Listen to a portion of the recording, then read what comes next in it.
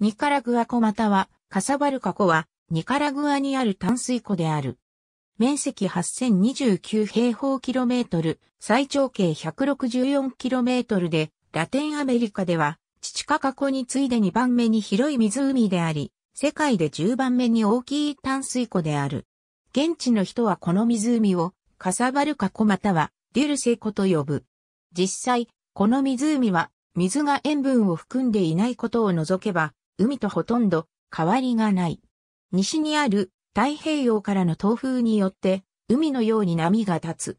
また、オメテペ島やソレンティナメ列島のような島々があるほか、淡水素状性のあるオメジロウザメも生息することがよく知られている。また、最大のオメテペ島には2つの火山がある。さらには、定期的に強力な暴風雨を発生させることでも知られている。ニカラグア湖は、マナグア湖からティピタパ川が流入し、サンフアン川を通じてカリブ海に流出する。歴史的に湖岸のグラナダは大西洋の港とされている。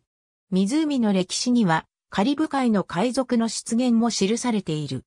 川はカリブ海につながっているが、湖は太平洋に近い位置にあり、湖の中のオメテペ島の山から見ることもできる。パナマ運河の完成前、駅馬車線が狭い地境を経て、小高い丘を抜けて、太平洋につながっていた。